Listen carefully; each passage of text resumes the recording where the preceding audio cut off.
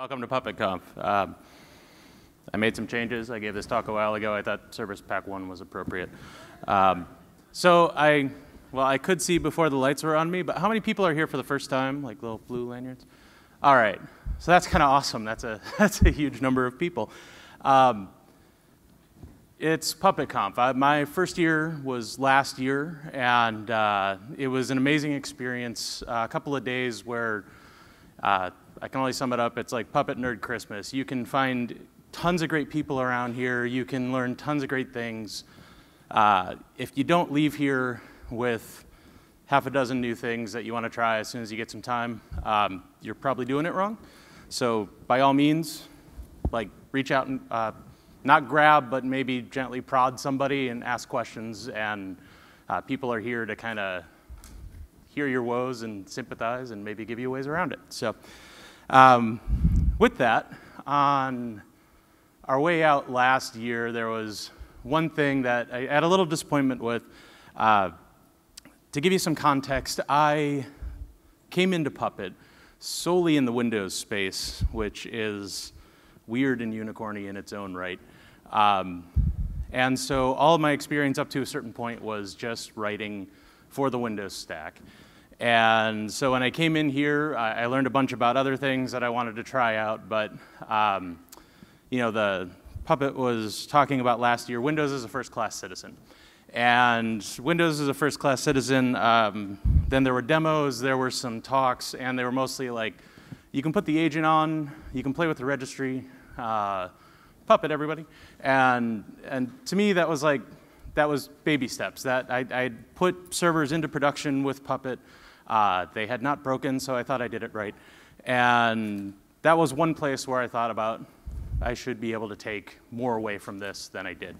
Um, I did then, with my frustration, what any man my age would do. Um, I went to Twitter and uh, just, I don't know why it was kind of silly, but in the process met a lot of interesting people um, that also shared some of the pain points of trying to start automation with Windows that wasn't like a messy set of batch scripts in PowerShell and, and kind of hoping and praying you could get some sort of state enforcement across the entire architecture. Um, I think part of the challenge of that comes from enterprise. Uh, Windows is primarily an enterprise product. Uh, with that, I, I, found a quote. There was actually, uh, if you'd believe it or not, a Windows DevOps conference in England recently. And there was a good quote here that I will steal. Uh, it was a conference for battle-scarred enterprise IT folk, a conference for those wrestling with DevOps in a world of legacy systems and enterprise licensing agreements, uh, which was kind of touched on a little earlier this morning. Uh, I, I, think Luke had mentioned just awful software that you have to deal with. Uh, with that, I've spent time over the last few years in the enterprise, in different places, talking to people and trying to uh, get Puppet going on Windows and, and see why we can't and see how we can solve those problems. Uh, and part of the things that I've seen, I'm going to be talking about today. So uh, one of the bigger things is with Linux versus Windows. Uh, there's a little asterisk here. So for the, the remainder of this conversation, uh, corporate politics or whatever you have between departments, we're going to put that outside. Uh, it is nothing but like DevOps rainbows in this room. So your company is completely all fine with all of this and you're moving ahead. Uh, in, in the Linux environments I've seen, unless you're replacing a, uh, uh, uh much worse configuration management product uh, that was maybe implemented improperly, you have a little more leeway. It's a little easier to get going with Linux. it, it was written initially as a Linux tool, and then support was added on for Windows. So uh, you tend to find it's easier to kind of corral off uh, starting to try these things without having to worry about connecting to Active Directory and uh, having access to your network resources. You can start building and being more effective. Uh, you could use the Trinity of like package file service, and you can do a lot of automation in Windows very, or in Linux very quickly that way. Uh, whereas with Windows, you already kind of have some structures that may be implemented well, maybe a little fuzzy. With uh, Active Directory OUs, you kind of have uh, security policy enforcement with, with group policy, depending on how it's implemented. Um, but part of the, the problems in bringing this stuff into Windows is it's bigger than just that. You tend to see things like PowerShell is huge. Microsoft is getting repeatedly not so subtle in saying you need to know PowerShell. Since it came out, it's like, hey, there's a neat thing, and then more and more and more and more you see as it goes along. Uh, to be really effective at automating things on the Windows side, you need to know how to do some things with PowerShell. Uh, there are there is a wide range of what you can do with PowerShell. For some people, it's been essentially advertised as commandlets. Uh, here's how you can create a new user very easily. So a lot of people, their only experience is in that way, in doing commandlets. And in certain silos of Windows, it's an all-in-one server tool, and there are modules that run very things. So if you're an Exchange admin, your PowerShell experience can be completely different than a guy that's trying to stand up boxes.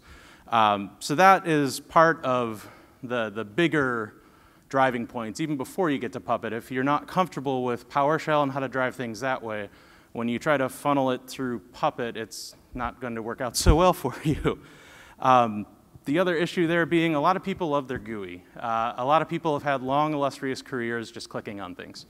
Um, it's just truth, because Microsoft designed a GUI so you wouldn't have to unless you needed to do really advanced stuff. Uh, so you have uh, these large enterprise Windows teams that are, are varying points of knowledge on how to actually do any automation on the Windows side before you talk about taking it a level up and, and looking at the infrastructure as a whole. Uh, so with that, a lot of people, when I talk to them about hey, maybe you should learn PowerShell. Usually come back with that. Uh, why do I need to do all this stuff? And part of that uh, I can explain with the uh, default install behavior of Server 2016 currently. That is uh, essentially Server Core. And Server Core has been around a long time. It's not widely used. Uh, but to sum it up, it's headless Windows. Uh, you have not all of the services you get with Windows because they've chopped the GUI off. So you have a smaller install base. Uh, you know, it's a smaller image. You have less patching. You have a more, you have a lower attack surface because it's just smaller. Doesn't have all these extra things hanging out there. And uh, all of the management of that.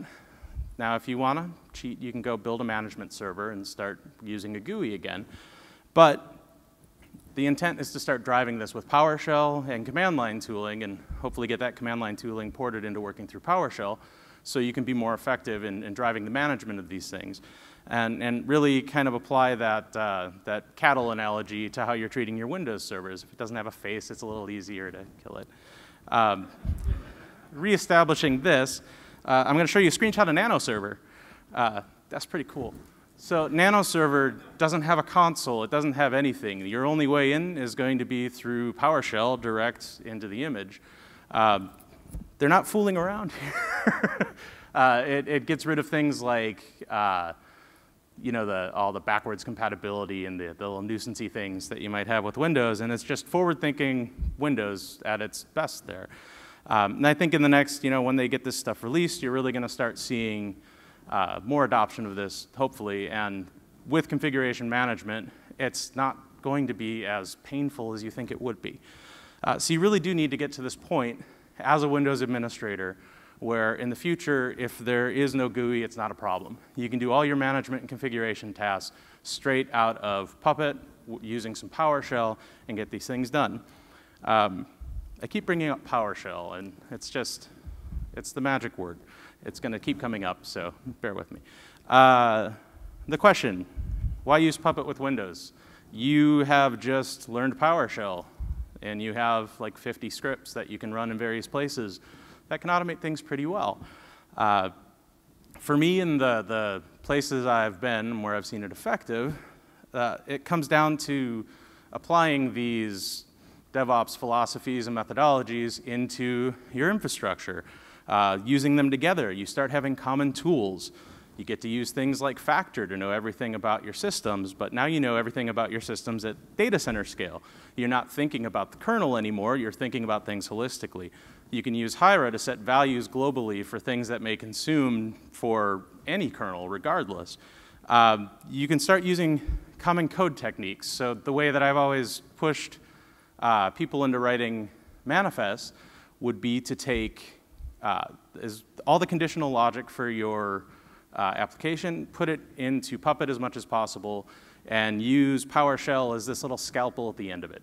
So the, the smallest, most direct way to get PowerShell to make things happen on the box through the PowerShell provider usually gets the majority of the work done. Um, with that, you also have the common workflows. You start building between teams.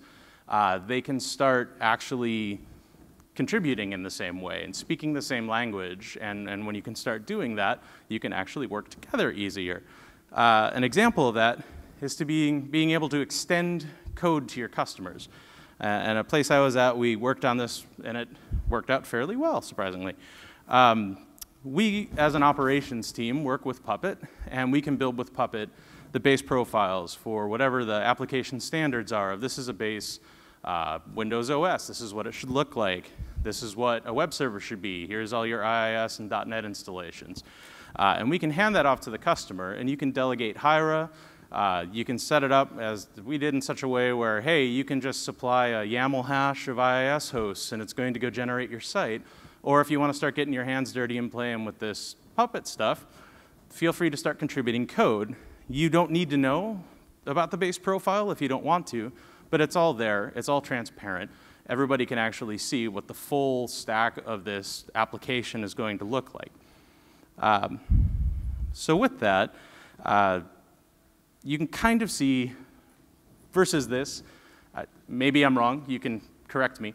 Uh, have you seen a lot of developers contribute to like group policy or SCCM before?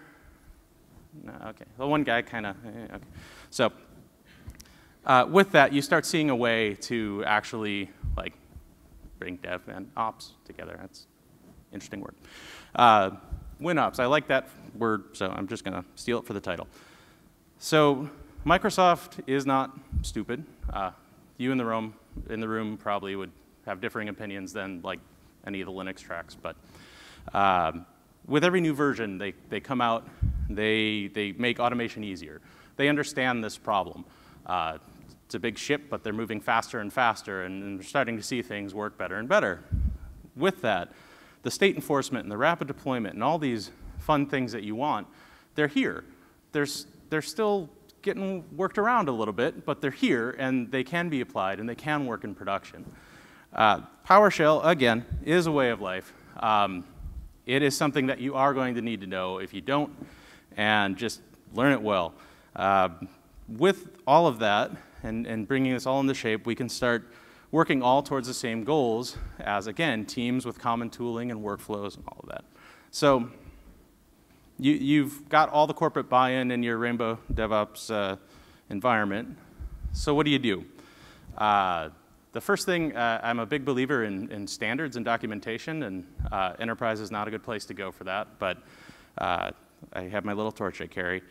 Uh, I like to call it minimum viable windows. You need to decide as an organization, uh, what are you going to support? There is a lot, I'll actually show hands. How many 2008 servers in your organization? All right, how many have 2003 servers in your organization? Yeah, how many have 2000 servers in your organization? We're getting lower at least. And NT4. Oh, okay, there's normally one guy, that's really sad. Uh, and that's just it. Uh, I've, I've tried 2003 with, with Puppet and had to make a conscious decision that I didn't want to ruin my life that way.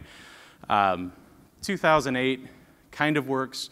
Um, part of what really matters, even more than the version of the OS, is the, the Windows management framework and the .NET framework. Uh, PowerShell relies on the .NET framework. There are scenarios where you can try to install PowerShell 4 but not have .NET 4.5 installed. And then you're going to have a wonderful scenario where you swear you installed that update. It says you installed that update, but you're still running PowerShell 2 on a 2008 host. Uh, these are the things that you really have to determine because if you are writing PowerShell into Puppet manifests and you have incompatible versions of PowerShell on your infrastructure, you're going to have unreliable results, and that's not what this is about. After that, uh, you need to get Puppet on the box. And I've seen many different ways that that works. Uh, now you should know that double clicking is not the approved method of installing anything anymore because we're going to do it without uh, GUI. Uh, locally, a lot of people processing, just writing a little script to do the, uh, to run the MSI, uh, pass some parameters to it and get it done that way. I've seen a lot of people attach that and use it as a run once. So you're provisioning from a, an image, it comes up, the first thing it does is it's going to try to install Puppet. Um, I have a friend here actually that is a big fan of, of remote PowerShell and, and remote execution and um, watching somebody update like 100 Puppet clients in a shot is a pretty cool thing to do. Uh, with that, I tried to pull these all together. I have a little Forge module I've been working on that I just put up if you want to try to break your infrastructure with it, uh, called WinAgent. It's for Puppet Enterprise. But just to give you an example of what you can do with it, um, what I wanted to do was solve the problem. Uh, that's an annoyance for me, uh, but that's good passion for anything. Um, my annoyance was that for Linux, you can curl the server and you can get your, your agent. Um, and a lot of people use that method to install the Puppet agent. It's very easy, it's relatively reliable. As long as you have the firewall ports open, you're good to go. However, the, the Windows agent does not fall under that category. Uh, so with this, it actually ties into the PE repo class and adds the MSI. And in the files folder, there is actually a local installation script to help. And there is also a PowerShell module that you can apply to do this remote execution. Um, I just, I'll go back. I really like that install Puppet thing. That's just my favorite. Uh, with that, you're looking at a PowerShell host. You're looking at this idea where you may need something that's able to touch once and configure many if you can't get Puppet on the box yet. Um, this is kind of an ongoing thing. I'm, trying to figure out the uh, kind of where this sits in line with everything. Maybe something with the orchestrator eventually invalidates this entire concept, um, but you still have a zero to puppet problem, and this is one way that you could look to solve it. Setting this up as your remote execution host, adding it to your trusted host so you can actually remote into boxes, and then you can go ahead and make any changes if you need to prior to having Puppet on there. Uh, now you have an agent installed, and you are ready to get going. So let's talk about how to start building in Windows. Uh, we'll start with the community. Uh, I did this stat last time I talked, and I just updated it. That, that little one is Windows. Um, there are a lot of modules in there, and I know some of the metadata is probably wrong on some of them, so this number shouldn't be awesomely accurate. Uh, there are very few Windows modules. And when you look at them, there's actually some really good ones out there. Puppet Labs has done a great job of like really bringing in a lot of the, the key building blocks to get started uh, with using Puppet in Windows. Uh, a lot of the other ones tend to be geared towards components. And uh, this is where Windows gets a little weird and where I think we have a namespacing problem that we need to address is essentially you have all these little one-offs like configuring ports and enabling things. You have uh, like local policy, security policies. If you want to move away from using group policy, you can set all those things. But for each one, you're going to end up writing registry resources. So uh, if you've ever done a base profile for Windows, you probably have about 500 of these sitting in manifest somewhere. And uh, it, you need to start breaking it down and cleaning it up a little bit. And how you do that and structure it. I've seen some people do like a super module, so you have like Windows settings and then all these things underneath of it. But how to actually maintain a module of you know a thousand manifests might be a little trouble after a while, because um, you're looking at this. These are the you know, and, in local security policy, all the things you can enable that are just little switches in the registry, but you need like five lines to make any of that happen. And uh, I don't have an answer for that out there today, but I'd like to start the discussion if anybody has any ideas on it. Um, so until that really gets solved, you're, you're running into this issue where, yes, I can stand up a box, I can put IIS on it, I can put a SQL server on it, I can drop an application on it and have it run. Uh, but those foundational things that you do with, with Windows, Uh, those are, there's still some manual steps, so there's still a lot of reliance on group policy. Uh, it's very much possible to make Active Directory just a really neat user database, uh, but there's a lot of work that needs to be involved to get that into your configuration management. So the rest of the stuff you're going to build outside a registry is normally going to rely on the PowerShell provider. Um, it's really inessential, and again, there's that word PowerShell that keeps coming up. There's many ways you can shake it, and I'm going to talk about a couple of ways here and a couple of other tools that you can use that also rely on. There we go. And uh, so let's kind of go through those. We have the, you know, just standard exec. Uh, you can use template function to do some things. Uh, if you want to get really clever, you can start writing custom providers in Ruby. That is uh, not a space that I think exists very much. Uh, Chocolatey is great for doing package management if you are ready to take that step. And then there's desired state configuration, which everybody always has an opinion about. So with the PowerShell exec, uh, you're basically just shoving PowerShell into a command and putting an only if or unless on there and running it through and seeing if it works. And uh, it's, it, it works. Hey, you can run PowerShell through Puppet. Uh, but it is kind of a step above dropping a script on a server and having that execute. Uh, so trying to find a more elegant way of doing this, you start running into issues where now every time you want to run this, you're actually running PowerShell twice. And if anybody has ever built a, a big, like full stack uh, configuration of a Windows box, you'll see like minutes and days and weeks and years go by as your Windows features are validated for the millionth time. Um, so in that, uh, one of the other one other catch that I find on it is you can't send if you're setting up variables in PowerShell, they're two separate sessions. So you're not sending information between the two of them. You have to duplicate a lot of code, and as, as I was taught, you're not really supposed to duplicate code. if you're duplicating it, you're probably doing it wrong. So with that, you can try using the template function if you want to get a little more PowerShelly and just have Puppet as the control mechanism for how to deliver that. Uh, the good part is you can start using uh, like Ruby ERB. I haven't tried it with the EPP with the, the new stuff. Uh, I assume it'll work the same way. But this way you can actually drop values from, say, Hiera, your manifest, anywhere Facter, uh, and have them put into the PowerShell script. So you do get some customization of that script when it runs, and you don't have to actually do uh, an artifact drop and then hope the thing has permissions and goes correctly and all that.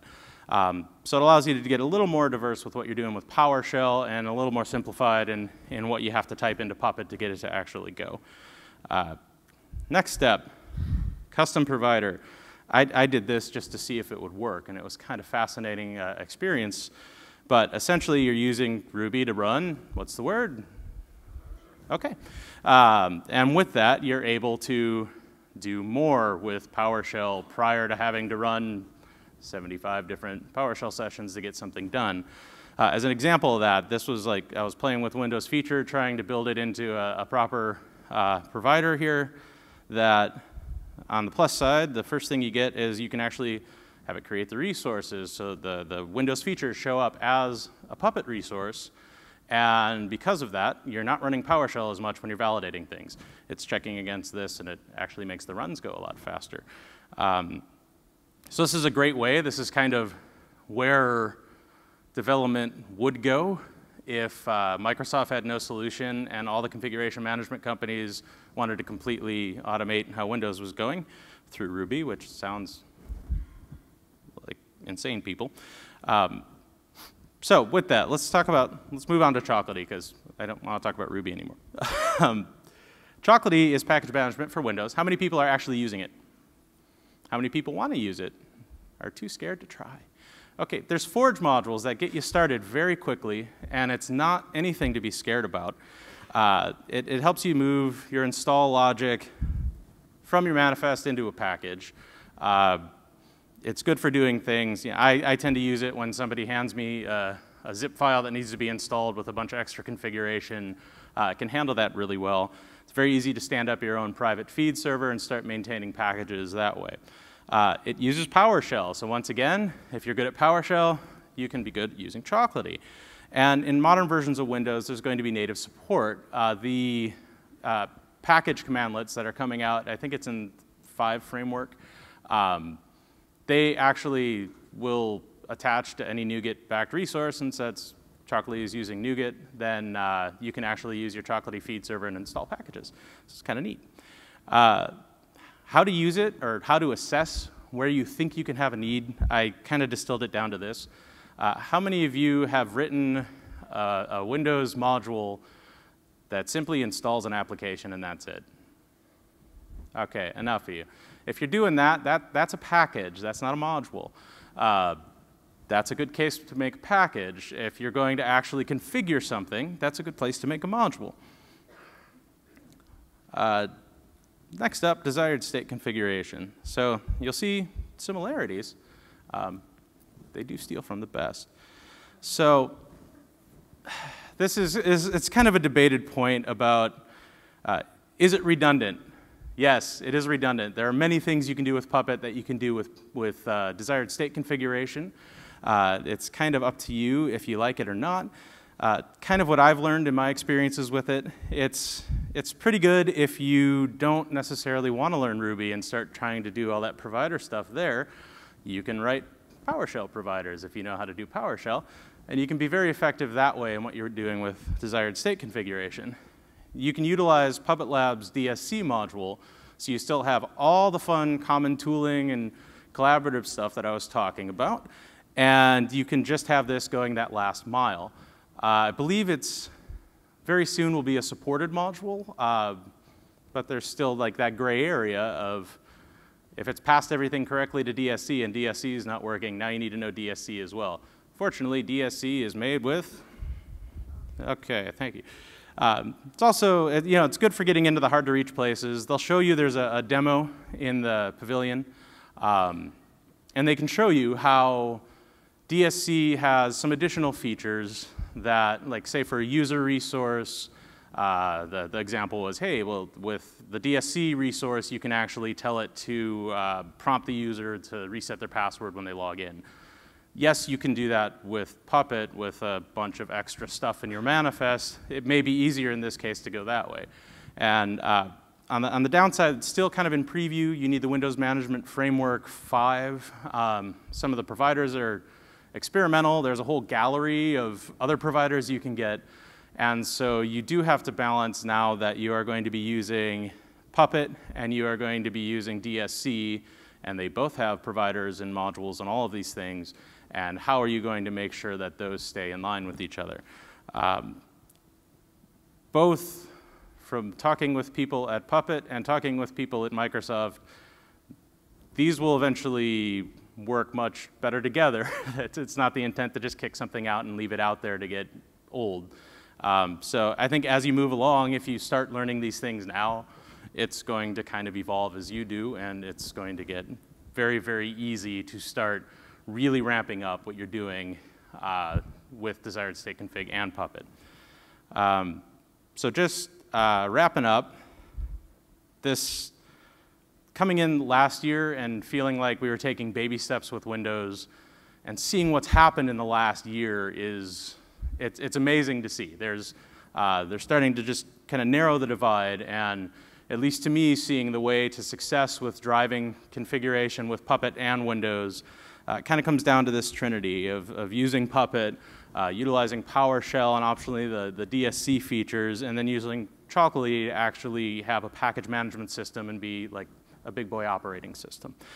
Um, so with that, uh, talking PowerShell, if you aren't good at it or you're scared at it or you don't know anything about desired state configuration or any of those things, uh, I have some resources. I can post them, what, there's Slack rooms, there's Twitter, you can come find me, I'll post the deck, whatever.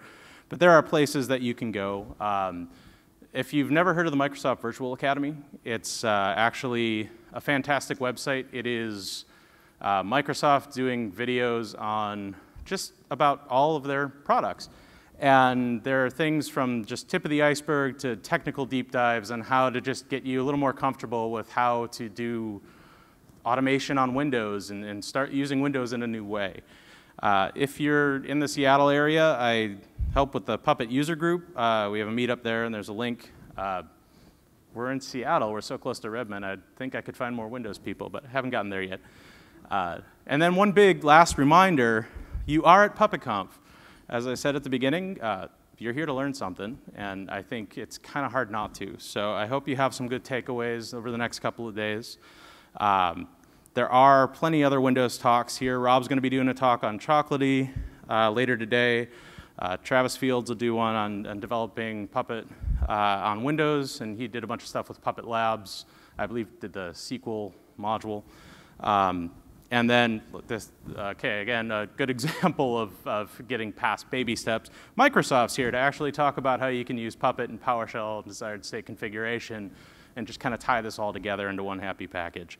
Um, so this is really an amazing Puppet Conf if you are on a Windows track and you really need to start doing things.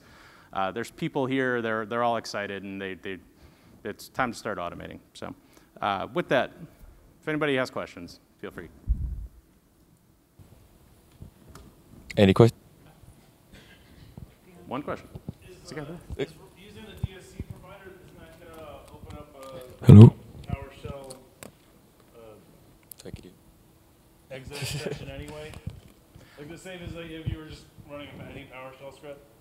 Uh, there is some stuff, it's doing some generation with the MOF file, and that would probably be an awesome question for the guys over there that are doing it, because they helped write it with Microsoft. I, I, haven't been able to pull apart the guts of it yet and quite see how it's making everything tick, but um, it, it, does seem to take as long as doing PowerShell stuff when I've tried it, so um, your mileage may vary. Another one. Do you, do you have any opinions or experience on the relative sanity of using Puppet to manage a desktop environment? And also, if anyone here is managing a desktop environment with Puppet, I'd love to talk to you. Um, I've tried it in my home life, and uh, that's where package management comes really handy. Uh, again, like if you're using a package manager, setting up that desktop and, and sending some configuration to it tends to go very, very quickly. If you're doing all these MSI, uh, you know, one-off installs and trying to find things in their various sources, then you're still going to wait three days for the configuration to finish.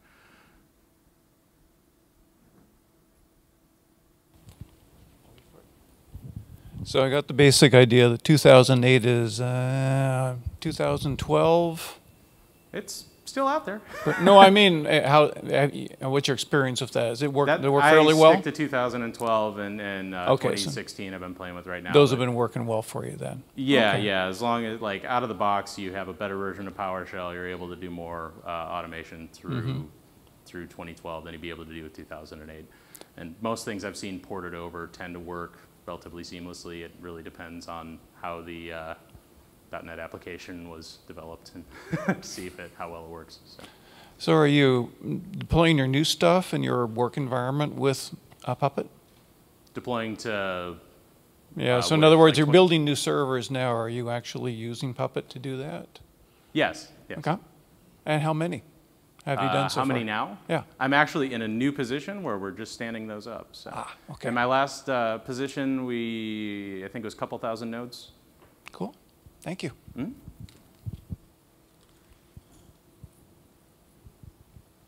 Anybody else? All right. Oh, hey. So I read recently that Chef has made some overtures, or Microsoft has made overtures towards Chef, uh, including bringing Jeffrey Snover, who's the uh, father of PowerShell. Yeah. into the fold. Is Puppet making any similar sort of uh, gestures toward Microsoft or vice versa? Uh, So I could Jeffrey helped write the DSC module, I believe. Um, they, I, I, I was, I actually went to the chef meetup in Seattle where they were very proud of like just finishing up work with Microsoft, uh, where they were going to start doing it, and then it was uh, probably what's going to essentially be the DSC talk of how you take everything you want to do in Chef and just kick it over to DSC. Um, so they, I think Microsoft is, uh, you know, I'm not affiliated with Microsoft or Puppet, but I know Microsoft just kind of likes, they, they have everything running over there in some form or another, uh, whether by choice or by acquisition. So they are kind of playing nicely with all the different configuration management tools and trying to get them working, trying to get them working in Azure so you can build what you need to do with what you want to use without having any issues with it. Hmm?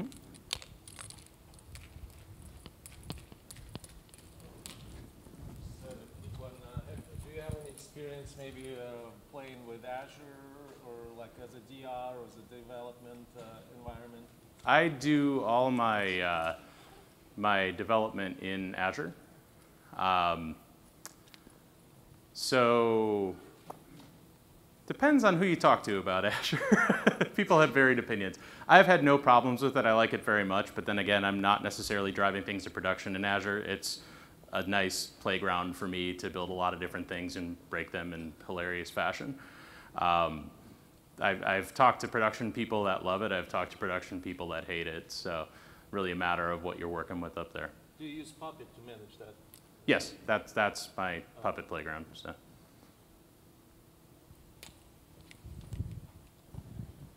Have you ever tried um, installing Puppet on a VM that's provisioned through the Azure PaaS, like when you deploy code from Visual Studio into a staging or production um, cloud service?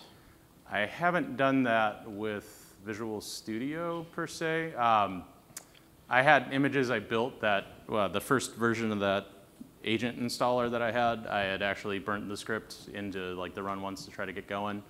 Um, that seemed to work just fine. Now I just use the remote install and target everything and upgrade it and install as needed.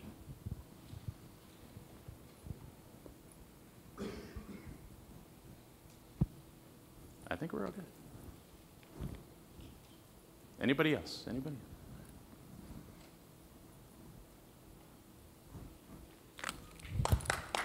Thank you.